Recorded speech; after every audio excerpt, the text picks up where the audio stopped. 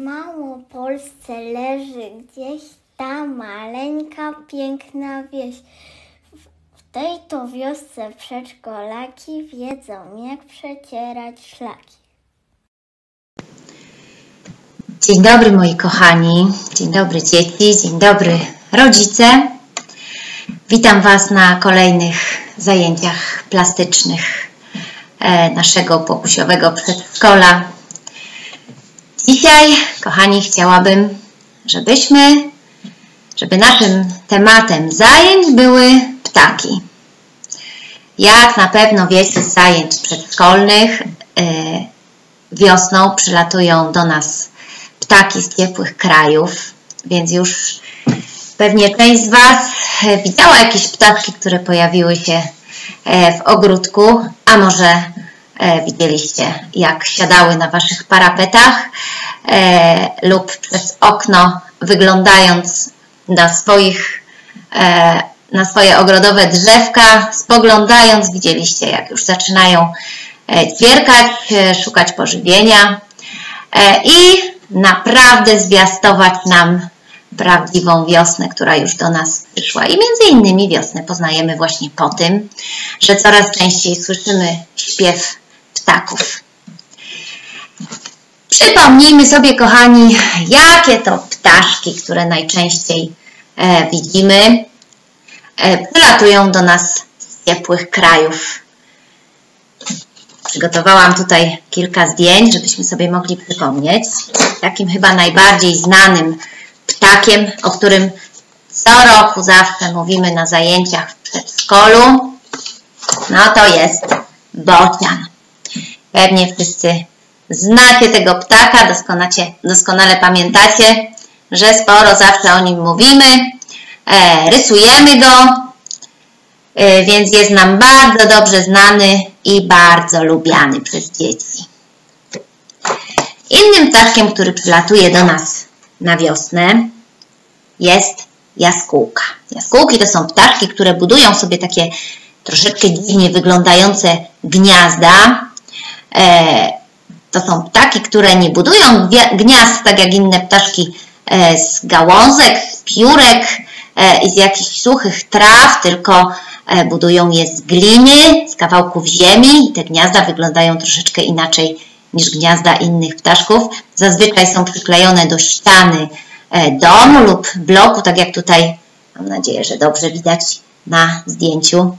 E, tak jak tutaj pokazane jest takie gniazdko, które zbudowały jaskółki. Jaskółki mają podobnie jak bociany kolor czarno-biały.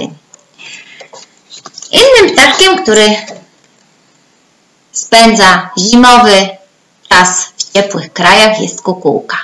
Kukułka tutaj już ma więcej kolorów.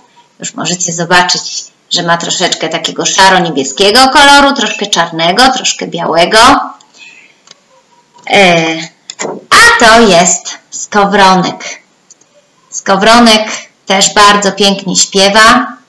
E, nieraz pewnie mieliście okazję usłyszeć śpiew skowronka. E, skowronek też nie jest taki zbyt kolorowy, piórka ma w kolorze czarno, brązowo, biało, szarym, więc nie jest jakiś wybitnie kolorowy. Dlatego ja, kochani, chciałabym, żeby nasze ptaszki, które sobie dzisiaj wykonały, były bardzo kolorowe i żeby nam przypominały wiosnę, tak jak inne rzeczy, które robimy na naszych zajęciach. E, bo z racji tego, że wiosna do nas zawitała, no to chcemy, żeby było kolorowo, prawda? Bo my lubimy kolory wszyscy. Pokażę Wam, jakie w takim razie kolorowe ptaszki zrobimy sobie dzisiaj z papieru. Przygotowałam dla Was ptaszki w dwóch wielkościach. Jedne będą większe, a drugie będą troszkę mniejsze. To są akurat ptaszki, które będziecie mogli postawić sobie na przykład na parapecie albo na półeczce i to będzie kolejna rzecz, która dołączy do Waszych prac. Mam nadzieję, że w domu już pojawiła się cała wystawa prac plastycznych, które robicie razem ze mną na zajęciach i cieszą oczy Wasze i Waszych rodziców w domach. Ale Ja zrobiłam takich ptaszków jeszcze więcej. Jeżeli będziecie chcieli, to również możecie w ten sposób zrobić w domu i zobaczcie. A może w ten sposób obrócimy, bo tutaj oczka, oczka były narysowane tylko z jednej strony, więc zrobimy tak, żeby było dobrze wszystko widać. To jest taka girlanda e, ptaszkowa. E, ptaszki umieściłam na sznureczku, więc jeżeli wykonalibyście sobie taką girlandę, to możecie ozdobić wspaniale pokój e, swój lub rodziców i takie ptaszki można zawiesić na przykład przy oknie lub dowiesić gdzieś w okolicach półek lub wieszaków, tam gdzie tylko się da zawiesić e, sznureczek. W takim razie, moi kochani, przystępujemy do pracy. Co nam będzie potrzebne do wykonania takich ptaszków? Kolorowy papier, kartki w różnych kolorach. Ptaszki możecie wykonać w kolorach, e, jakie tylko Wam się będą podobać. I tutaj znowu mówię, jeżeli nie macie y, kolorowego bloku, kolorowych kartek, to śmiało możecie wcześniej sobie pomalować kartki białe farbami na różne kolory i też fantastycznie się sprawdzą. Do wykonania ptaszków będzie nam jeszcze potrzebna plastelina, abyśmy później mogli te ptaszki postawić, przyczepiając do nich spinacz do bielizny spinacze do bielizny. Mogą być kolorowe, ale akurat tutaj mam drewniane. Oczywiście klej, nożyczki,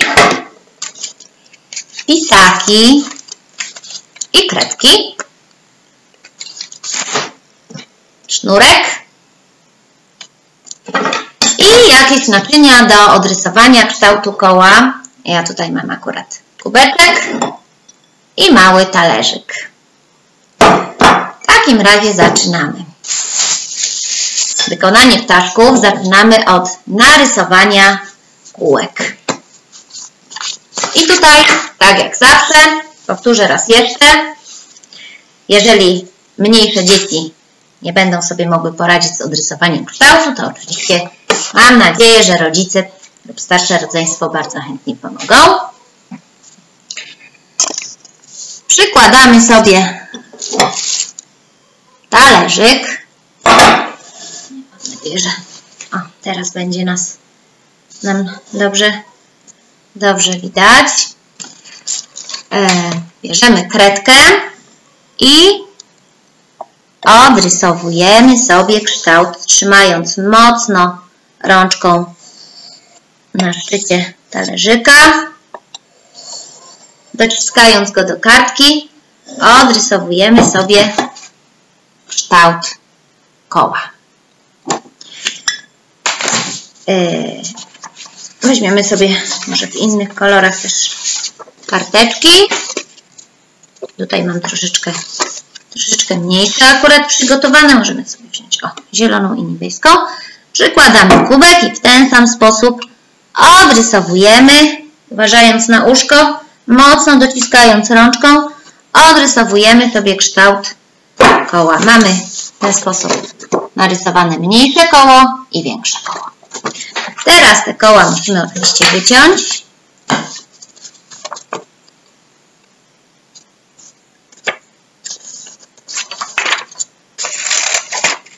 Tutaj ja będę robić, jeżeli ktoś robi więcej ptaszków, to oczywiście składa dwie lub więcej kartek i wycina je równocześnie. Mniejsze dzieci mogą oczywiście wycinać kółeczka pojedynczo. My sobie tu zrobimy jednego ptaszka dużego, jednego małego. Mniejsze koło mamy wycięte.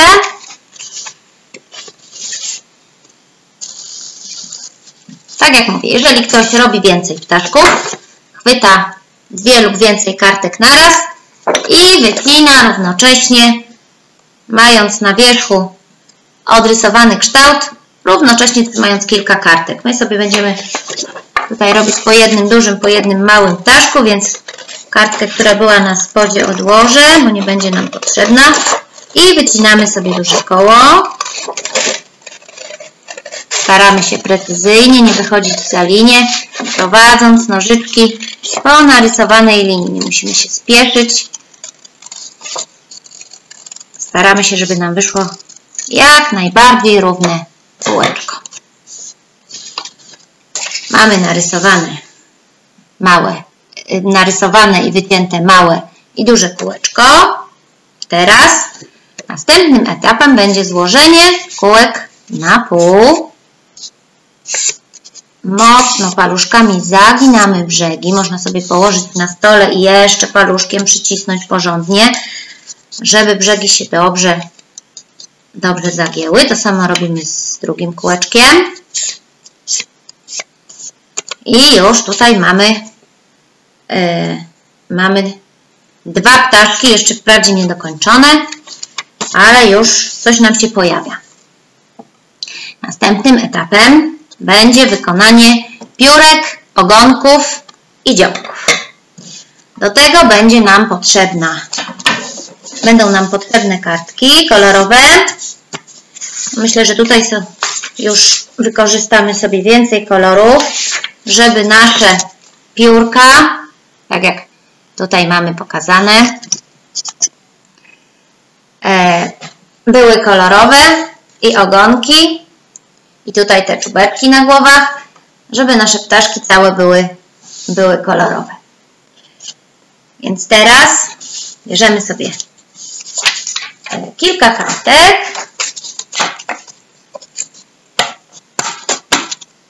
Tak.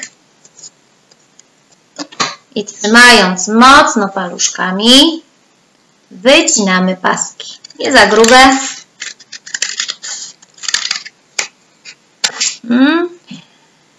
Do ptaszka większego będą troszeczkę grubsze, a do tego mniejszego troszeczkę węższe. O. Wycinamy sobie paseczki. Te paseczki są w tej chwili tak wycięte są dla nas za długie, więc musimy sobie je skrócić, czyli poprzecinać na, na kilka części, żeby były dopasowane do rozmiaru naszych ptaszków. Układamy sobie je równo w rączce. Hmm? I możemy sobie tak mniej więcej, o, mamy ptaszka, mniej więcej sobie przykładamy, jakie duże paseczki będą nam pasowały na ogonki i odcinamy. Jedna tura paseczków, druga tura i Odcinamy sobie takie troszeczkę krótsze od poprzednich, które będą na te czubeczki na głowie nam potrzebne. One będą, one będą krótsze i odkładamy je, bo my będziemy jeszcze je docinać, ale to Wam pokażę później. E, to samo, to samo robimy z paseczkami grubszymi dla większego ptaszka. Układamy sobie je równiutko w rączce i skracamy, przykładamy sobie, przykładamy sobie do kółeczka. Odleciał nam ptaszek. Przykładamy sobie do kółeczka, tak żeby mniej więcej dopasować długość, jakie, jakie skrzydełka będą nam najbardziej pasowały długością. Odcinamy i to samo robimy z tymi paseczkami, które będą nam służyć do wykonania ogonków.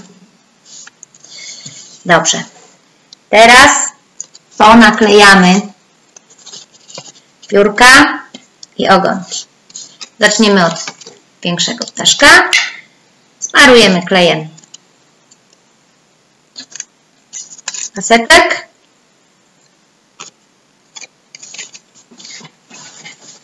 i przyklejamy go górnej części. Tutaj jest grzbiet naszego ptaszka, tu jest jego brzuszek, w górnej części przyklejamy trzy takie paseczki w różnych kolorach. Jeden,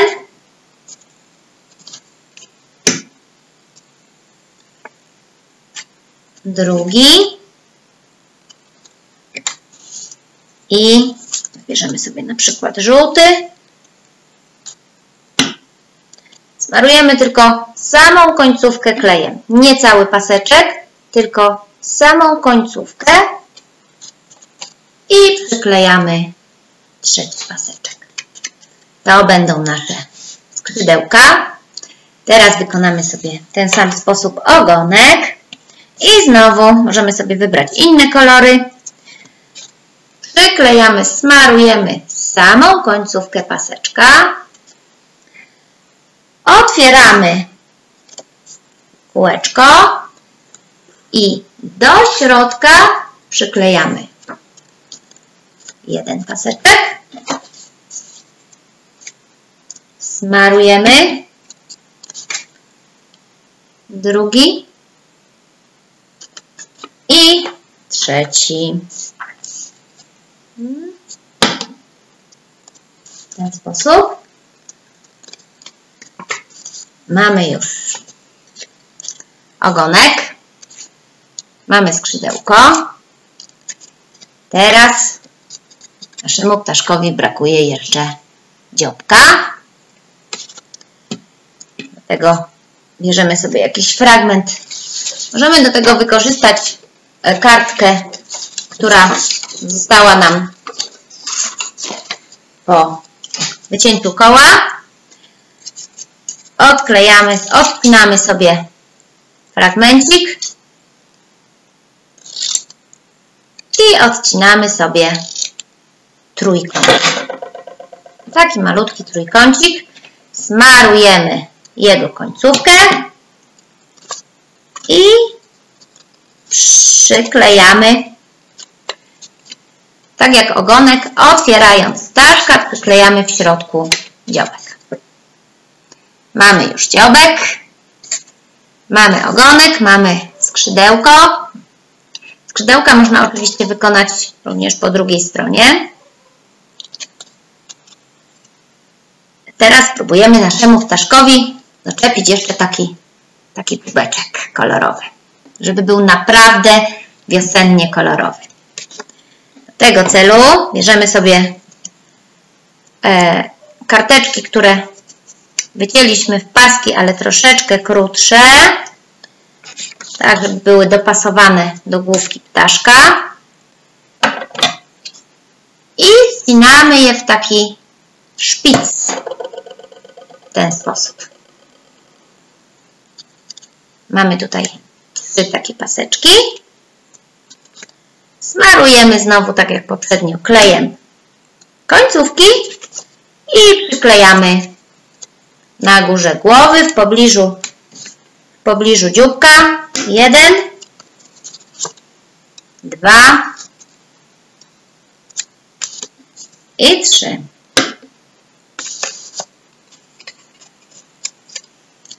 Nasz ptaszek jest już prawdziwie kolorowy. Teraz trzeba dorysować mu oko. Do tego możemy użyć albo kredki, albo pisaka. Myślę, że najlepiej sprawdzi się kredka lub pisak w kolorze czarnym, ale jeżeli macie ochotę na jakiś inny kolor, to oczywiście nie ma przeszkód. I tutaj w miejscu, gdzie ptaszki mają oczka, blisko dziobka, rysujemy, rysujemy oko. Nasz duży ptaszek jest już prawie gotowy. Teraz doklepimy mu spinacz do bielizny i spróbujemy go postawić. Potrzebujemy do tego kawałek plasteliny. Zbieramy sobie kolor, jaki chcemy. Ja tutaj akurat użyję niebieskiego.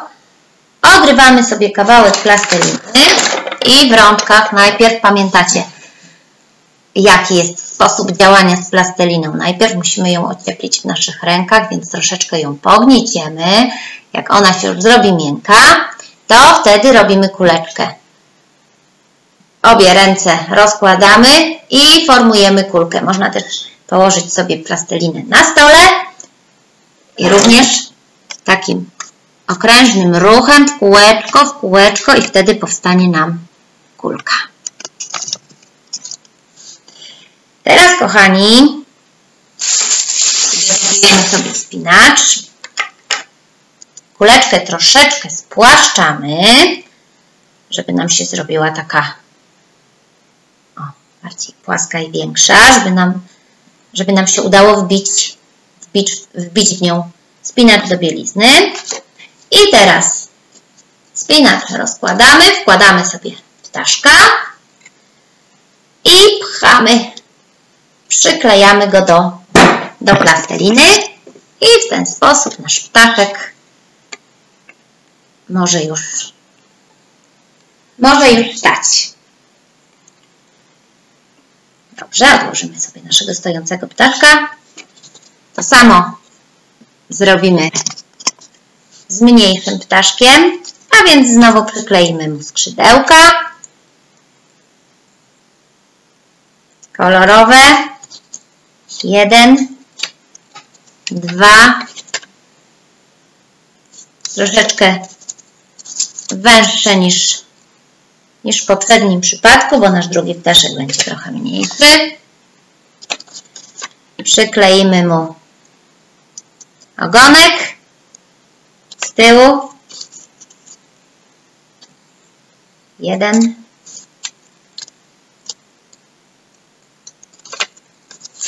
Dwa. I wybierzemy jeszcze może żółty kolor. I trzy.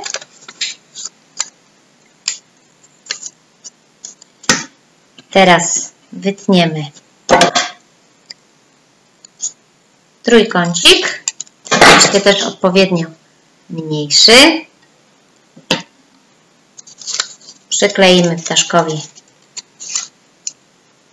miejsce, gdzie powinien być dziobek. I przykleimy jeszcze czubeczek na górze głowy.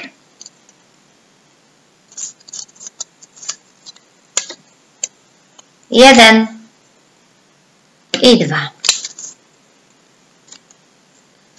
I ten oto sposób ptaszek jest już prawie gotowy. Dorysujemy mu oczko.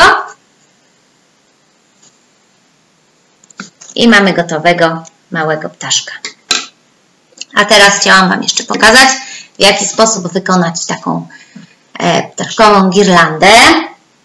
Wiemy już, jak umieścić ptaszka na spinaczu do bielizny, żeby móc go postawić na półce.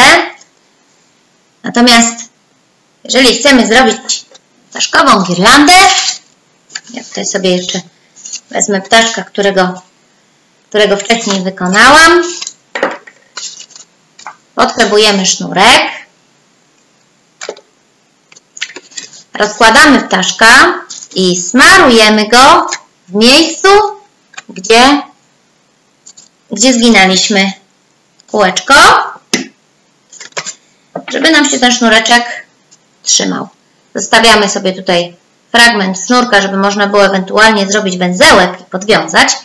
Wkładamy sznurek do środka, napinamy go i składamy ptaszka tak, żeby ten sznureczek nam się wkleił w papier.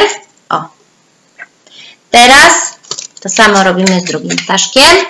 Akurat tutaj mam tego mniejszego. Smarujemy sobie środek. I naklejamy, rozkładamy go. Klejamy sznureczek. Nam się akurat odwrotnie te ptaszki troszeczkę przykleiły. Próbujemy o, w ten sposób. I mamy już dwa ptaszki na sznurku. Akurat tak mi się wkleiło, że fruną w odwrotne strony. Więc tutaj musicie pilnować, żeby jeden ptaszek frunął za drugim. I w ten sposób możemy sobie przykleić następnego, następnego, następnego, w zależności od tego, jak długą girlandę o, chcecie uzyskać. Moi kochani, mam nadzieję, że dzisiejsze zajęcia również Wam się podobały i że Wasze parapety ozdobią piękne, kolorowe, wiosenne ptaszki. Zapraszam do nadsyłania zdjęć. Bardzo wielką radość sprawia mi, kiedy Wasi rodzice przysyłają zdjęcia, jak pracujecie e, i zdjęcia Waszych gotowych prac, więc e, zachęcam gorąco do, do przysyłania zdjęć. Do zobaczenia, kochani, na następnych zajęciach.